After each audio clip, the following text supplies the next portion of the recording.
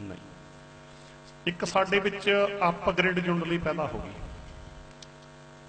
Upgrade ਜੁੰਡਲੀ ਯਾਦ ਰੱਖਿਓ। ਫਿਰ ਨਾ ਭੁੱਲ ਜਿਓ, ਅਸੀਂ ਨਾ ਨਾ ਲੈਣਾ ਨਾ ਦੇਸ਼ ਦਾ, ਨਾ ਕਿਸੇ ਇਹੋ ਜਿਹੀ ਜਿਨਸ ਦਾ। ਕਿਉਂ? ਕਿਉਂਕਿ ਨਾ ਲੈਣ ਤੇ ਗੱਲ ਨਿੱਜ ਤੇ ਖੜ ਜਾਂਦੀ ਆ ਭਾਵ ਹੈ ਹੋਰ ਨਹੀਂ। ਭਾਵ ਕਿ ਇਦਾਂ ਦਾ ਕੋਈ ਵੀ ਕੱਲ ਨੂੰ ਕਹਿੰਦਾ ਤਾਂ ਤੇ ਉਹ ਕੀ? ਵੀ ਗੁਰੂ ਸਾਹਿਬ ਜੀ ਆਮ ਮਨੁੱਖਾਂ ਦੀ ਤਰ੍ਹਾਂ ਜੀਵਨ ਜਿਉਂ ਬੋਲੋ, ਸਹਿਮਤ ਹੋ ਤੁਸੀਂ? ਉਹ ਅਪਗ੍ਰੇਡ ਜੁੰਡਲੀ ਦਾ ਫੈਸਲਾ ਹੈ। ਬਾਣੀ ਕਹਿੰਦੀ ਹੈ ਮਾਨੁਖ ਕਾ ਕਰ ਰੂਪ ਨਾ ਜਾਣ, ਮਿਲੀ ਨਮਾਣੇ ਮਾਨ ਕੋਈ ਵੀ ਕੱਲ ਨੂੰ ਕੋਈ ਵੀ ਇਦਾਂ ਦਾ ਖਿਆਲ ਪੇਸ਼ ਸਾਰਿਆਂ ਤੇ ਲੱਗ ਗਈ ਨਾ ਗੱਲ?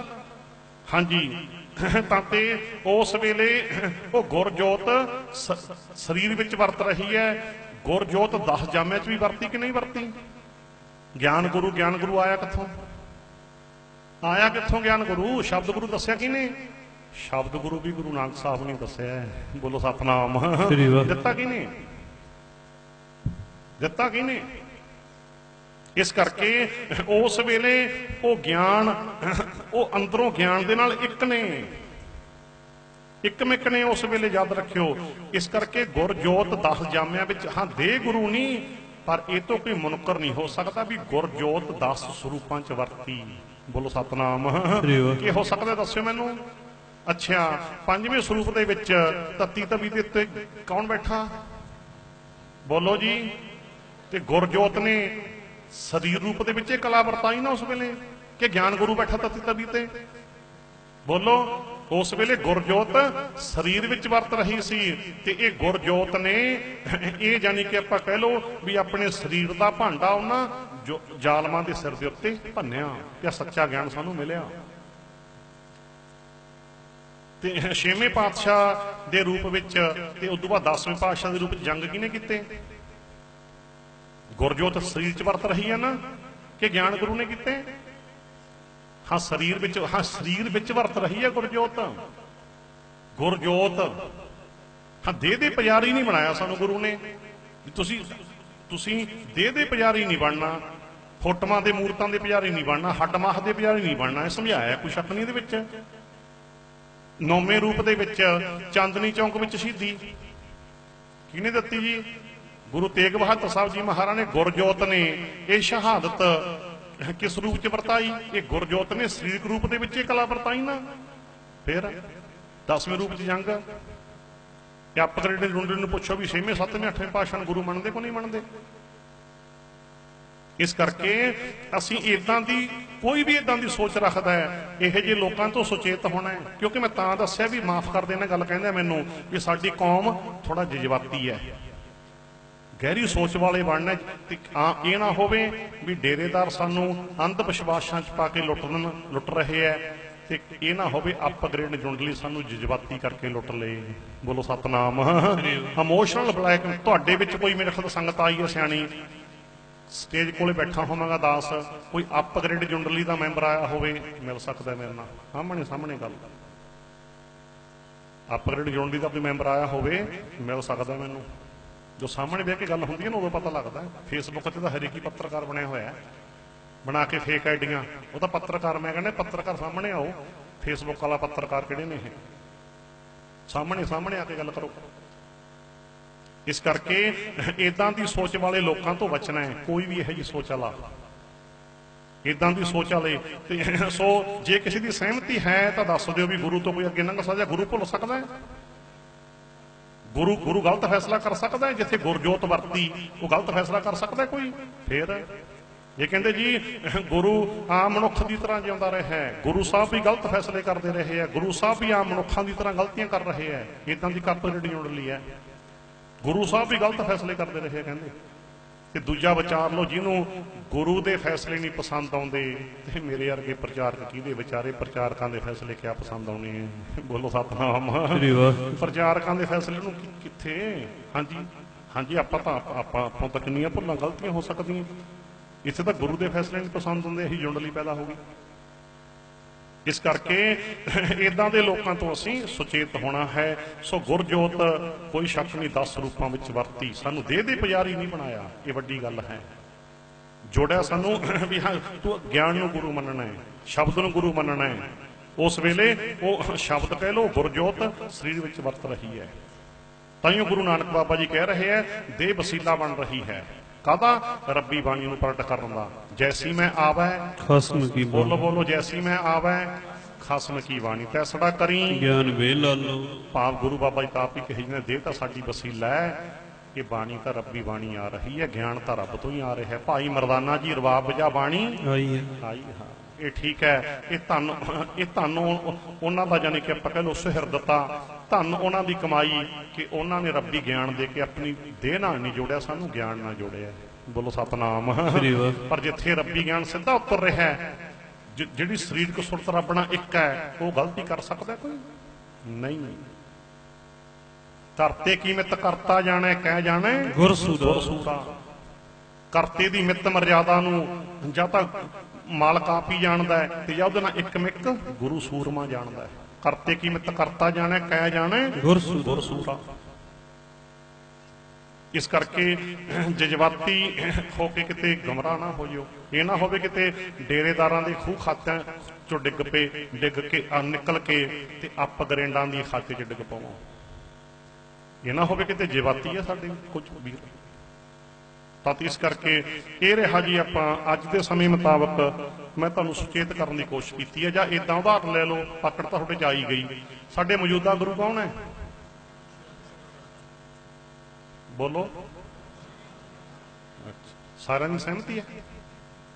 ਮਾਵਾ ਭੈਣਾਂ ਦੀਆਂ ਅੱਛਾ, ਫਿਰ ਤੁਸੀਂ ਐਂ ਕਾਹਤੋਂ ਨਹੀਂ ਕਿ ਸਾਡੇ ਮੌਜੂਦਾ ਗੁਰੂ ਗਿਆਨ ਗੁਰੂ ਹੈ? ਉਹ ਉਹ ਪੁੱਛਦੇ ਨੇ ਜੋ ਜੁੰਡਲੀ ਗੱਲਾਂ ਕਰਦੇ ਫਿਰਦੇ ਆ। ਤੁਸੀਂ ਇਹੀ ਕਿਹਾ ਗੁਰੂ ਗ੍ਰੰਥ ਸਾਹਿਬ ਗੁਰੂ ਗ੍ਰੰਥ ਸਾਹਿਬ ਗੁਰੂ ਕਿਉਂ ਹੈ? ਕਿਉਂਕਿ ਉਹ ਗਿਆਨ ਗੁਰੂ ਗੁਰੂ ਗ੍ਰੰਥ ਸਾਹਿਬ ਚ ਹੈ। ਬੋਲੋ ਸਤਨਾਮ। ਸ੍ਰੀ ਵਾਹਿਗੁਰੂ। ਹਾਂਜੀ ਜਿਸ ਤਰ੍ਹਾਂ ਉਸ ਵੇਲੇ ਗੁਰਜੋਤ 10 ਰੂਪਾਂ 'ਚ ਵਰਤੀ ਅੱਜ ਉਹੀ ਗੁਰਜੋਤ ਗੁਰੂ ਗ੍ਰੰਥ ਸਾਹਿਬ ਵਿੱਚ ਹੈ। ਇਸ ਕਰਕੇ ਕਿਉਂਕਿ ਗੁਰੂ ਗ੍ਰੰਥ ਸਾਹਿਬ ਉਸ ਗਿਆਨ ਨਾਲ ਇੱਕ ਹੈ ਇਸ ਕਰਕੇ ਗਿਆਨ ਗੁਰੂ ਤਾਂ ਸ਼ੱਕ ਹੀ ਕੋਈ ਨਹੀਂ। ਪਰ ਕਿਉਂਕਿ ਗਿਆਨ ਗੁਰੂ ਮਿਲ ਰਿਹਾ ਹੈ ਜਿਸ ਗ੍ਰੰਥ ਵਿੱਚੋਂ ਉਸ ਗ੍ਰੰਥ ਨੂੰ ਵੀ ਅਸੀਂ ਕਹਾਂਗੇ ਗੁਰੂ ਗ੍ਰੰਥ ਸਾਹਿਬ ਜੀ। ਬੋਲੋ ਸਤਨਾਮ। ਸ੍ਰੀ ਵਾਹਿਗੁਰੂ। ਕਹੋਗੇ ਨਾ ਫਿਰ ਜਦੋਂ ਗੁਰੂ ਗ੍ਰੰਥ ਸਾਹਿਬ ਗੁਰੂ ਕਹਿੰਦੇ ਉਹਦਾ ਅਰਥ ਇਹ ਨਹੀਂ ਵੀ ਜਲਦ ਗੁਰੂ ਜਾਂ ਪੇਪਰ ਗੁਰੂ ਜਾਂ ਸਿਆਹੀ ਗੁਰੂ ਨਹੀਂ। ਉਹਦਾ ਭਾਵ ਇਹੀ ਹੈ ਹਰ ਕੋਈ ਜਾਣਦਾ ਪਤਾ ਨਹੀਂ ਕਿਉਂ ਨਹੀਂ ਸਮਝ ਆ ਰਹੀ। ਉਹਦਾ ਭਾਵ ਇਹੀ ਹੈ ਵੀ ਗੁਰੂ ਗ੍ਰੰਥ ਸਾਹਿਬ ਵਿੱਚ ਜੋ ਗੁਰਬਾਣੀ ਹੈ ਭਾਈ ਗੁਰੂ ਹੈ। ਬੋਲੋ ਸਤਨਾਮ। ਸ੍ਰੀ ਵਾਹਿਗੁਰੂ। ਬਾਣੀ ਗੁਰੂ ਗੁਰੂ ਹੈ। ਬਾਣੀ। ਬਾਣੀ ਪਰ ਗੁਰੂ ਗ੍ਰੰਥ ਸਾਹਿਬ ਗੁਰੂ ਵੀ ਹੈ ਕਿ ਨਾ ਹੈ ਦੱਸੋ ਮੈਨੂੰ। ਕੋਈ ਕਹਿ ਸਕਦਾ ਨਹੀਂ? ਇਹ ਨਾ ਹੋਵੇ ਕੱਲ ਨੂੰ ਸਿਰ ਫਿਰਿਆ ਕੋਈ ਪੈਨ ਡਰਾਈਵ ਜਾਂ ਕੋਈ ਚਿੱਪ ਰੱਖ ਕੇ ਕਹਿ ਦੇ ਵੀ ਬਾਣੀ ਗੁਰੂ ਹੈ। ਬਾਣੀ ਗੁਰੂ ਦੇ ਵਿੱਚ ਹੀ ਹੈ। ਟੇਕ ਲੋ ਮੱਥਾ। ਨਹੀਂ ਜੀ ਗੁਰ ਗੱਦੀ ਗ੍ਰੰਥ ਸਰੂਪ ਕੋਲ ਹੈ। ਬੋਲੋ ਸਤਨਾਮ। ਸ੍ਰੀ ਵਾਹਿਗੁਰੂ। ਦੱਸਣਾ ਪੈਂਦਾ ਇਹ ਗੱਲ ਨੂੰ। ਸਮਝਣੀਆਂ ਗੱਲਾਂ ਇਹ। ਹਾਂਜੀ ਇਹ ਗੱਲਾਂ ਸਮਝਣੀਆਂ। ਇਹ ਅਸੀਂ ਜਜ਼ਬਾਤੀ ਨਹੀਂ ਹੋਣਾ। ਇੱਕ ਇੱਕ ਥਾਂ ਦੇ ਇੱਕ- ਨਾ ਜੋ ਸਹਿਜ ਪਾਠ ਅੱਜ ਕੱਲ ਪਾ ਦਿੱਤਾ ਜਾਂਦਾ ਹੈ ਨਾ, ਚਿੱਪਾਂ 'ਚ, ਪੈਨ ਡਰਾਈਵ 'ਚ। ਇੱਕ ਥਾਂ ਇੱਕ ਮਿਲਿਆ, ਆਪ ਜੀ ਨੇ ਤਾਂ ਉਹ ਗੱਲ ਕਰੇ ਗਾਣੇ 'ਚ। ਕਹਿੰਦਾ, ਫਿਰ ਤੁਸੀਂ ਤਾਂ ਹੁਣ ਗੁਰੂ ਗ੍ਰੰਥ ਸਾਹਿਬ ਵੀ ਪੈਨ ਡਰਾਈਵ 'ਚ ਪਾਤਾ। ਡੇਰਾਬਾਦੀ ਸੋਚੀ ਜੇ ਪਤਾ ਨਹੀਂ ਕੀ ਸੀ, ਕਿਦਾਂ ਦਾ ਖਿਆਲ ਸੀ। ਹੁਣ ਕਈ ਵਾਰੀ ਤਾਂ ਜਵਾਬ ਨਹੀਂ ਆਉਂਦਾ, ਦੇਖੋ। ਹੈ ਜਵਾਬ ਤੁਹਾਡੇ ਕੋਲੇ, ਬੋਲੋ। ਮੈਂ ਕਿਹਾ, ਨਹੀਂ ਜੀ, ਗੁਰੂ ਗ੍ਰੰਥ ਸਾਹਿਬ ਤਾਂ ਪੈਨ ਡਰਾਈਵ 'ਚ ਨਹੀਂ ਪਾਇਆ। ਕਹਿੰਦਾ, ਹੋਰ? ਮੈਂ ਦਾਅਵੇ ਨਾ ਕਹਿੰਦਾ ਗੁਰੂ ਗ੍ਰੰਥ ਸਾਹਿਬ ਨਹੀਂ ਪਾਇਆ ਪੈਨ ਡਰਾਈਵ 'ਚ ਉਹਦੇ ਸਮਝ ਨਾ ਆਈ ਗੱਲ ਕਹਿੰਦਾ ਹੋਰ? ਮੈਂ ਕਿਹਾ ਗੁਰੂ ਗ੍ਰੰਥ ਸਾਹਿਬ ਦੀ ਬਾਣੀ ਪਾਈ ਹੈ। ਬੋਲੋ ਸਤਨਾਮ। ਸਤਿ ਸ੍ਰੀ ਗੁਰੂ ਗ੍ਰੰਥ ਸਾਹਿਬ ਅਕਾਲ ਦੀ ਬਾਣੀ ਪਾਈ ਹੈ। ਗੁਰੂ ਗ੍ਰੰਥ ਸਾਹਿਬ ਕਿਵੇਂ ਪਊਗਾ? ਬਾਣੀ। ਇਸ ਕਰਕੇ ਇਹਨਾਂ ਗੱਲਾਂ ਨੂੰ ਸਮਝਣਾ ਹੈ।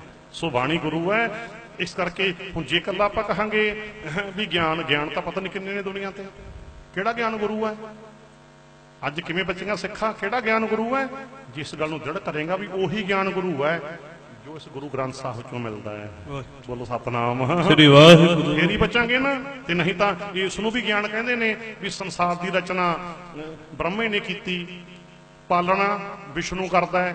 ਤੇ ਸੰਘਾਰ ਸ਼ਿਵ ਜੀ ਕਰਦਾ ਉਹ ਕਹਿੰਦੇ ਇਹ ਵੀ ਗਿਆਨ ਹੈ। ਪਰ ਇਸ ਗਿਆਨ ਨੂੰ ਗੁਰਮਤਿ ਨੇ ਰੱਦ ਕੀਤਾ ਵੀ ਨਾ ਇੱਕੋ ਹੀ ਹੈ ਤਿੰਨ ਨਹੀਂ ਸਰਦਮ ਸੱਚ ਹੈ ਇੱਕ ਹੈ ਦੂਜਾ ਨਹੀਂ। ਕੋਈ ਆ ਸੱਚਾ ਗਿਆਨ ਹੈ। ਬੋਲੋ ਸਤਨਾਮ। ਸ੍ਰੀ ਵਾਹਿਗੁਰੂ। ਫਿਰ ਸੈਂ ਤਖਨੀ ਵੀ ਗਿਆਨ ਹੈ। ਇੱਕ ਗਿਆਨ ਉਹ ਵੀ ਹੈ ਜਿਹੜੇ ਕਹਿੰਦੇ ਇੱਕ ਦਿਸ਼ਾ 'ਚ ਰਹਿੰਦਾ ਰੱਬ। ਇੱਕ ਗਿਆਨ ਉਹ ਵੀ ਹੈ ਜਿਹੜੇ ਕਹਿੰਦੇ ਇੱਕ ਇੱਕ ਦਿਸ਼ਾ 'ਚ ਰਹਿੰਦਾ। ਦੱਖਣ ਦੇਸ਼। ਹਰੀ ਕਾ ਹਰੀ ਕਾ ਵਾਸਾ। ਪੱਛਮ। ਅੱਲਾਹ ਮਕਾਮਾ। ਕੋਈ ਕਹਿੰਦਾ ਪੱਛਮ ਦੇ ਵਿੱਚ ਅੱਲਾ ਦਾ ਮਕਾਮ ਹੈ ਅੱਲਾ ਦਾ ਟਿਕਾਣਾ ਹੈ। ਕੋਈ ਕਹਿੰਦਾ ਦੱਖਣ ਦੇਸ਼ ਵਿੱਚ ਹਰੀ ਕਾ ਵਾਸਾ ਦਵਾਰਕਾਪੁਰੀ ਗਿਆਨ ਤਾਂ ਇਹ ਵੀ ਹੈ ਪਰ ਗੁਰਮਤਿ ਇਸ ਗਿਆਨ ਨੂੰ ਰੱਦ ਕਰਦੀ ਹੈ। ਨਹੀਂ ਉਹ ਮਾਲਕ ਸਰਬ ਵਿਆਪਕ ਹੈ। ਬੋਲੋ ਸਤਨਾਮ। ਸ੍ਰੀ ਵਾਹਿਗੁਰੂ। ਗੁਰੂ ਨਾਨਕ ਬਾਬਾ ਜੀ ਮੱਕੇ ਦੇ ਵਿੱਚ ਜਾ ਕੇ ਅੱਲਾ ਨੂੰ ਕਾਬੇ ਚੋਂ ਕੱਢਣ ਗਏ ਸੀ। ਬੋਲੋ ਸਤਨਾਮ। ਸ੍ਰੀ ਵਾਹਿਗੁਰੂ। ਅੱਲਾ ਨੂੰ ਕਾਬੇ ਚੋਂ ਕੱਢਣ ਗਏ ਸੀ। ਹਾਂਜੀ ਭਾਵੋਂ ਨੂੰ ਕੈਦ ਨਹੀਂ ਕੀਤਾ ਜਾ ਸਕਦਾ। ਗਿਆਨ ਤਾਂ ਉਹ ਵੀ ਹੈ। ਐਂ ਗਿਆਨ ਦਾ ਕੀ ਮਤਲਬ? ਇਸ ਕਰਕੇ ਇੱਥੇ ਪਤਾ ਨਹੀਂ ਕਿੰਨੇ ਕਿਸਮ ਦੇ ਗਿਆਨ ਲਈ ਫਿਰਦੀ ਹੈ ਦੁਨੀਆ। ਪਤਾ ਨਹੀਂ ਕਿੰਨੇ ਕਿਸਮ ਦੇ ਗਿਆਨ ਹੈ ਜੋ ਸਾਨੂੰ ਫੇਰ ਕਹਿ ਦਿਓ ਦੁਬਾਰੇ ਹੁਣ। ਗਿਆਨ ਕਿਹੜਾ ਮੰਨਣਾ ਹੈ ਅਸੀਂ? ਬੋਲੋ ਬੋਲੋ। ਜੋ ਗੁਰੂ ਗ੍ਰੰਥ ਸਾਹਿਬ ਗੁਰੂ ਗ੍ਰੰਥ ਸਾਹਿਬ ਤੋਂ ਮਿਲਦਾ ਹੈ।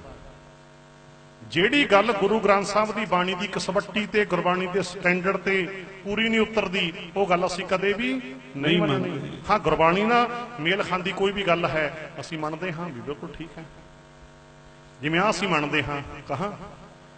ਉਸ ਉਹਨਾਂ ਦੀ ਭਾਸ਼ਾ ਚ ਕਹਿਣ ਲੱਗੇ ਅੱਲਾਹੂ ਅਕਬਰ ਲਾ ਇਲਾ ਇਲਾ ਇਸ ਗਿਆਨ ਨੂੰ ਮੈਂ ਮੰਨਦਾ ਹਾਂ। ਕਿਉਂ ਮੰਨਦਾ ਹਾਂ? ਕਿਉਂਕਿ ਇਹਦਾ ਅਰਥ ਇਹੀ ਹੈ ਸਰਬੰਗ ਸੱਚਾ ਇੱਕ ਹੈ ਦੂਜਾ ਨਹੀਂ। ਕੋਈ ਕੋਈ ਮੰਨਣਾ ਗੁਰਬਾਣੀ ਨੂੰ ਹੀ ਯਾਦ ਰੱਖਿਓ। ਭਾਵ ਇਹ ਵਚਨ ਗੁਰਬਾਣੀ ਦੀ ਕਸਬੱਟੀ ਤੇ ਪੂਰਾ ਉਤਰਦਾ ਹੈ ਵੀ ਸਾਰਿਆਂ ਤੋਂ ਵੱਡਾ ਹੈ ਰੱਬ। ਅੱਲਾਹੂ ਅਕਬਰ ਦਾ ਅਰਥ ਰੱਬ ਸਾਰਿਆਂ ਤੋਂ ਵੱਡਾ ਹੈ। ਮੰਨਦੇ ਹੋ ਇਸ ਗੱਲ ਨੂੰ?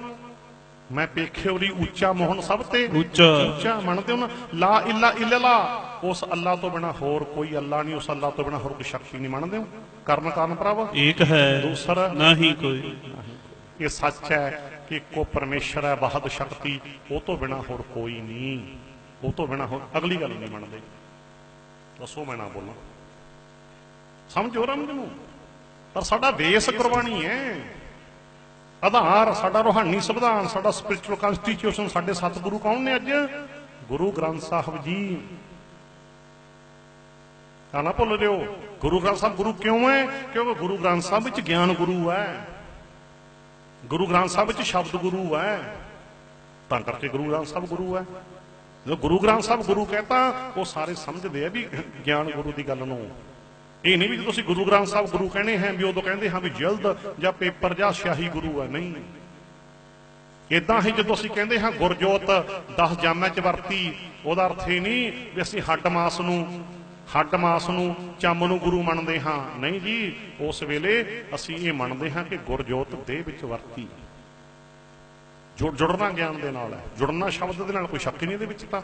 ਇਸ ਕਰਕੇ ਬੜੇ ਸੌਖੇ ਢੰਗ ਨਾਲ ਦਾਸ ਨੇ ਤੁਹਾਨੂੰ ਕਹਿਣ ਦੀ ਕੋਸ਼ਿਸ਼ ਕੀਤੀ ਹੈ। ਫਿਰ ਵੀ ਕਿਸੇ ਨੂੰ ਭਲੇਖਾ ਰਹਿ ਜੇ, ਗੱਲ ਕਰ ਲਓ ਪੜਨਾ ਸੋ ਇਦਾਂ ਇਹ ਨੁਕਤੇ ਦੇ ਉੱਤੇ ਗੱਲ ਕਰਨੀ ਬਹੁਤ ਜ਼ਰੂਰੀ ਸੀ, ਇਸ ਕਰਕੇ ਅਸੀਂ ਸੁਚੇਤ ਹੋਣ ਦੀ ਕੋਸ਼ਿਸ਼ ਕਰਨੀ ਹੈ। ਖਾਸ ਕਰਕੇ ਫੇਸਬੁੱਕ ਬੁੱਕ ਵਾਲੇ ਪੱਤਰਕਾਰਾਂ ਨੂੰ ਇਹ ਬੇਨਤੀ ਹੈ ਵੀ ਜਜ਼ਬਾਤ ਚ ਨਾ ਆਓ ਤੇ ਗੱਲ ਨੂੰ ਸਮਝਣ ਦੀ ਕੋਸ਼ਿਸ਼ ਕਰੋ।